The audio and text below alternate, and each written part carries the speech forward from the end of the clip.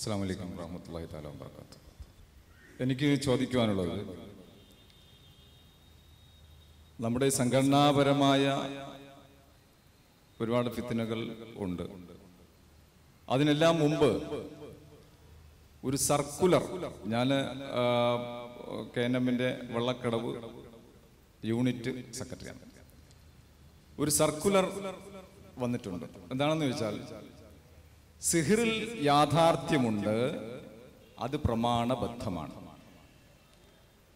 അപ്പൊ ഇതിന്റെ അടിസ്ഥാനത്തിൽ എനിക്ക് രണ്ട് ചോദ്യങ്ങൾ ചോദിക്കുകയാണ് ഒന്ന് ദയവ് ചെയ്ത് ഈ വിഷയത്തിൽ ഒരുപാട് തർക്കവിതർക്കങ്ങൾ സംശയങ്ങളെല്ലാം ഉണ്ട് സിഹിറിന്റെ വിഷയത്തിൽ. അതുകൊണ്ട് അതൊന്ന് വ്യക്തമാക്കണം പ്രമാണബദ്ധം എന്ന് പറഞ്ഞ ആ പ്രമാണങ്ങൾ ദയവ് ചെയ്ത് ഒന്ന് ഉദ്ധരിക്കുക. പ്രമാണങ്ങൾ ഉദ്ധരിക്കുക. രണ്ടാമത് ഇത് പ്രമാണബദ്ധമാണ് എങ്കിൽ ഈ പ്രമാണങ്ങളെ മനഃപൂർവം നിഷേധിക്കുന്ന അവരുടെ യുക്തിക്ക് യുക്തിസഹമായി. മറ്റു പല കാര്യങ്ങൾക്കും വേണ്ടി ഈ പ്രമാണങ്ങൾ നിഷേധിക്കുന്നവരുടെ ഇസ്ലാമികമായ വിധി എന്ത്? ഞാനിവിടെ പറയുന്നില്ല അവർ കബറാണോ അവർ മുർത്തദ്ദാണോ അതിൽ അവർ ഇസ്ലാമിന് പുറത്താണോ? ഇത് രണ്ട് ചോദ്യങ്ങൾ. ഒന്ന് ഈ പ്രമാണങ്ങൾ വ്യക്തമായി ഇവിടെ വിശദീകരിക്കുക. രണ്ട് ഈ പ്രമാണങ്ങൾ വിരുദ്ധമായി പ്രവർത്തിക്കുന്ന ആളുകൾക്കെതിരെയുള്ള ഇസ്ലാമിന്റെ വിധി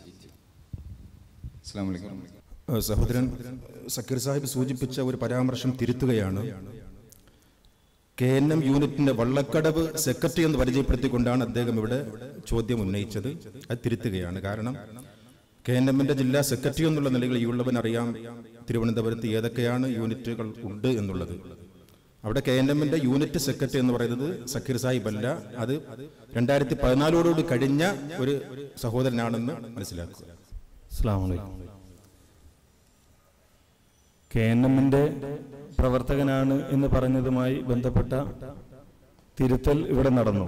സ്വാഭാവികമായും കെ എൻ എമ്മിന്റെ പ്രവർത്തകനാണെങ്കിൽ അതിൽ ഒരു സംശയം ഉണ്ടാകേണ്ട ആവശ്യമില്ല. കാരണം കേരള ജമിയത്തുൽ ഉലമ വളരെ കൃത്യമായി ആ വിഷയത്തിൽ എന്താണ് മുജാഹിദികളുടെ നിലപാട് എന്ന് വിശദീകരിച്ചതാണ്. അദ്ദേഹം തന്നെ പറഞ്ഞു സർക്കുലറിൽ പറയുന്നുണ്ട് സിഹറിന് ഹക്കീക്കത്തുണ്ട് സിഹറിന് യാഥാർത്ഥ്യമുണ്ട് എന്ന് സർക്കുലറിൽ പറഞ്ഞിട്ടുണ്ട്. ആ പറഞ്ഞത് തന്നെയാണ് മുജാഹിദ് പ്രസ്ഥാനം വെച്ചു പുലർത്തുന്ന നിലപാട് എന്നതാണ് നമ്മൾ മനസ്സിലാക്കേണ്ടത്. ആ നിലപാടാകട്ടെ വിശുദ്ധ ഖുർആാനിന്റെയും തിരുസുന്നത്തിന്റെയും അടിസ്ഥാനത്തിൽ രൂപീകരിക്കപ്പെട്ടതാണ് എന്നതാണ്. ഞാൻ ദീർഘമായി വിശദീകരിക്കുന്നില്ല. വിശുദ്ധ ഖുർആാനിലെ സൂറത്തുൽ ബക്കറയിലെ ഒരു വചനത്തിന് അമാനി മൗലവി റഹ്മുല്ല നൽകിയ വിശദീകരണം മാത്രം അല്പം ഞാൻ വായിക്കുകയാണ്. واتبعوا ما تتلو الشياطين على ملك سليمان وما كفر سليمان ولكن الشياطين كفروا എന്ന് തുടങ്ങുന്ന സിഹിറുമായി ബന്ധപ്പെട്ട ആയത്ത് വിശദീകരിച്ചുകൊണ്ട് അമാനി മൗലവി റഹ്മുല്ല പറയാണ് ആഭിചാരം ക്ഷുദ്രം ഇന്ദ്ര ഇന്ദ്രജാലം ചെപ്പടി വിദ്യ മായാതന്ത്രം വശീകരണം ജാലവിദ്യ കൺകെട്ട് മാരണം എന്നീ അർത്ഥങ്ങളിലെല്ലാം മൊത്തത്തിൽ ഉപയോഗിക്കുന്ന വാക്കാണ് സിഹർ കാര്യകാരണ ബന്ധം മനസ്സിലാക്കുവാൻ പ്രയാസമായ എല്ലാ ഉപായകൃത്യങ്ങൾക്കും സിഹർ എന്ന് പറയാം. സിഹറിന്റെ പല വകുപ്പുകളും ഉദാഹരണങ്ങളും പല മഹാന്മാരും വിവരിച്ചു കാണാം. ചുരുക്കത്തിൽ മന്ത്രതന്ത്രങ്ങൾ ജപഹോമാദികൾ ഉറുക്കുനറുക്കുകൾ അക്കക്കളങ്ങൾ രക്ഷാതകിടുകൾ കയ്യൊതുക്കം മെസ്മരിസം ഹിപ്നോട്ടിസം ആദിയായവെല്ലാം സിഹറിന്റെ ഇനങ്ങളത്രേ. ഇസ്മിന്റെ പണി തൊൽസമാത്തെ മുതലായ പേരുകളിൽ അറിയപ്പെടുന്ന വിദ്യകളും അങ്ങനെ തന്നെ. മിക്കതിലും ഭൂതം ജിന്ന് മലക്ക് ദേവൻ ദേവി പിശാജ് മരണമടഞ്ഞവർ നക്ഷത്രഗ്രഹങ്ങൾ ആദിയായ ഏതിൽ നിന്നെങ്കിലുമുള്ള സഹായാർത്ഥനകളും ചില പ്രത്യേക തരത്തിലുള്ള കർമ്മമുറകളും അടങ്ങിയിരിക്കും. ചിലപ്പോൾ ചില മരുന്നുകളും മന്ത്രതന്ത്രങ്ങളും കൂട്ടിയിണക്കിക്കൊണ്ടുമായിരിക്കും.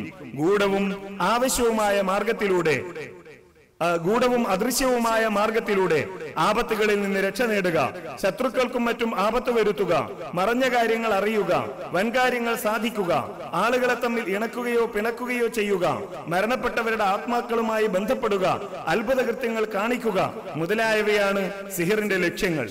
മിക്കവാറും ഇനങ്ങൾ യാഥാർത്ഥ്യമില്ലാത്തതും തനി പകുട്ടും മായയുമായിരിക്കും. ചിലതാകട്ടെ മാനസികമായ ചില മാറ്റങ്ങൾ ഉണ്ടാക്കുന്നതും അതുവഴി ചില അനുഭവങ്ങൾ പ്രകടമാക്കുന്നതുമായിരിക്കും. എന്നാണ് അമാനി അമാനി മൗലവി തന്റെ തഫ്സീറിൽ രേഖപ്പെടുത്തിയിരിക്കുന്നത്. അത് തന്നെയാണ് മുജാഹിദികൾ ഈ വിഷയത്തിൽ വെച്ച് പുലർത്തുന്ന നിലപാട്. വീണ്ടും അദ്ദേഹം ആ ആയത്തിലെ വമാഹും ഇല്ല എന്ന ആയത്ത് വിശദീകരിച്ചുകൊണ്ട് പറയുന്നു. ഇന്ന കാര്യം പ്രവർത്തിച്ചാൽ ഇന്ന പ്രതിഫലമുണ്ടാകുമെന്ന് അള്ളാഹു നിശ്ചയിച്ചു വെച്ചിട്ടുണ്ട്. ഫലങ്ങളാവട്ടെ നല്ലതും ചീത്തയുമാകാം ഉപകാരവും ഉപദ്രവവുമാകാം. അതുകൊണ്ടാണ് ചീത്തയും ഉപദ്രവകരവുമായ കാര്യങ്ങൾ അവൻ വിരോധിക്കുന്നതും. ഉദാഹരണമായി വാളെടുത്ത് മനുഷ്യന്റെ കഴുത്തിന് വെട്ടിയാൽ മരണത്തിനിടയാകുമെന്നുള്ളത് അള്ളാഹുവിന്റെ നിശ്ചയങ്ങളിൽ ഒന്നാണ്. അതുകൊണ്ടാണ് വിരോധിക്കപ്പെട്ടിരിക്കുന്നതും. അതേ സമയത്ത് അള്ളാഹുവിന്റെ ഉദ്ദേശവും ഉത്തരവും കൂടാതെ ഒരു കാര്യവും സംഭവിക്കുന്നതുമല്ല. ഓരോന്നിനും കാരണങ്ങൾ നിശ്ചയിച്ചതും ആ കാരണങ്ങൾ ഉണ്ടാകുമ്പോൾ അതത് കാര്യങ്ങൾ സംഭവിക്കുന്നതും അവന്റെ ഉദ്ദേശവും ഉത്തരവും അനുസരിച്ച് തന്നെ. മറ്റൊരു വിധത്തിൽ പറഞ്ഞാൽ അള്ളാഹുവിന്റെ ഉത്തരവും ഉദ്ദേശവും കൂടാതെ സിഹിറിന്റെയോ സിഹിർ ചെയ്യുന്നവന്റെയോ സ്വന്തം കഴിവുകൊണ്ടല്ല സിഹിറിനെ ഒരു ഉപദ്രവ കാരണമാക്കി അള്ളാഹു നിശ്ചയിച്ചത് കൊണ്ടാണ് ഭാര്യ ഭർത്താക്കൾക്കിടയിൽ അതുമൂലം ഭിന്നിപ്പുണ്ടാകുന്നത് എന്ന് എന്ന് സാരം എന്നാണ് അമാൻ മൗലവി തുടർന്ന് വിശദീകരിക്കുന്നത്. ഇതാണ് ഈ വിഷയത്തിൽ മുജാഹിദികൾ വെച്ച് പുലർത്തുന്ന സമീപനം. ഇതാണ് മുജാഹിദികൾ അവരുടെ ഖുർആൻ പരിഭാഷകളിലും അവിടെ നിന്ന് തുടങ്ങി സർക്കുലറിലും വരെ വിശദീകരിക്കുന്ന ആദർശമായി നമ്മൾ മനസ്സിലാക്കേണ്ടത്. നേരത്തെ പറഞ്ഞ സർക്കുലർ ജമിയത്തുലമ പുറത്തിറക്കിയതാണ്. ഈ പറഞ്ഞതാകട്ടെ കേരള നേതൃത്വത്തിൽ മുജാഹിദീൻ പുറത്തിറക്കുന്ന അമാനി മൗലവിയുടെ പരിഭാഷയിൽ പറഞ്ഞതാണ്. അഥവാ കാര്യകാരണ ബന്ധം മനസ്സിലാക്കുവാൻ പ്രയാസമുള്ള എല്ലാ ഉപായ കൃത്യങ്ങൾക്കും സിഹർ എന്ന് പറയുന്നു. അതിന് ഫലങ്ങൾ ഉണ്ടാകും അത് എങ്ങനെയെന്ന് നമുക്കറിയില്ല. എന്നതുകൊണ്ട് അത് നിഷേധിക്കേണ്ടതില്ല എന്നാണ് മൗലവി അമാനി മൗലവി തന്റെ തഫ്സീലിൽ രേഖപ്പെടുത്തുന്നത്. ഇനി രണ്ടാമത് ഇതുമായി ബന്ധപ്പെട്ട ഒരു ചോദ്യം. ഒരാൾ ഇതിനെ നിഷേധിക്കുന്നു തള്ളിക്കളയുന്നു. എന്ത് ചെയ്യേണ്ടതുണ്ട്? എന്താണ് അയാളെ പറ്റി അഭിപ്രായം എന്നാണ്. നമ്മളെ സംബന്ധിച്ചിടത്തോളം ഈ വിഷയങ്ങൾ ഇന്നോ ഇന്നലെയോ ഉണ്ടായതല്ല. ഈ വിഷയത്തിൽ ലോകത്ത് തന്നെ വ്യത്യസ്തമായ സമീപനങ്ങൾ വെച്ച് പുലർത്തുന്ന പണ്ഡിതന്മാരെ നമുക്ക് കാണാൻ കഴിയും. കേരളത്തിലും വ്യത്യസ്തമായ സമീപനങ്ങൾ വെച്ച് പുലർത്തിയ പണ്ഡിതന്മാരുണ്ട്. നിങ്ങൾക്കറിയാമല്ലോ മടവൂർ വിഭാഗവുമായി ബന്ധപ്പെട്ട തർക്കമുണ്ടായി. അങ്ങനെ ഒരു തർക്കമുണ്ടായപ്പോൾ ഇരു വിഭാഗത്തിന്റെയും ആദർശങ്ങൾ അവതരിപ്പിച്ചുകൊണ്ട് വിശദീകരിച്ചുകൊണ്ട് പ്രബന്ധങ്ങൾ അവതരിപ്പിക്കപ്പെട്ടു. ജമിയത്തുൽമയുടെ പണ്ഡിതന്മാരുടെ മുമ്പാകെ രണ്ട് വിഭാഗവും ഓരോ പ്രബന്ധങ്ങൾ അവതരിപ്പിച്ചു. ആ പ്രബന്ധങ്ങൾ കൈമാറി. അതിനുശേഷം ആ പ്രബന്ധങ്ങൾക്ക് മറുപടിയായി രണ്ടാമത് ഓരോ പ്രബന്ധങ്ങൾ കൂടി അവതരിപ്പിക്കപ്പെട്ടു. ആ പ്രബന്ധത്തിൽ ഈ വിഷയത്തിൽ ചോദ്യകർത്താവ് ഉന്നയിച്ച ചോദ്യത്തിന് മറുപടി നൽകുന്നത് കാണാൻ കഴിയും. ഒരാൾ സിഹിർ ഫലിക്കില്ല എന്നാണ് പറയുന്നത്.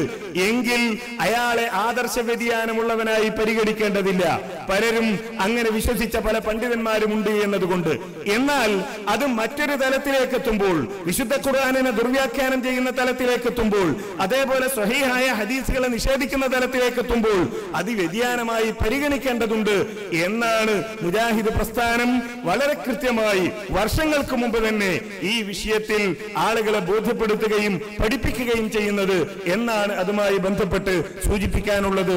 അള്ളാഹു അനുഗ്രഹിക്കുമാറാകട്ടെ.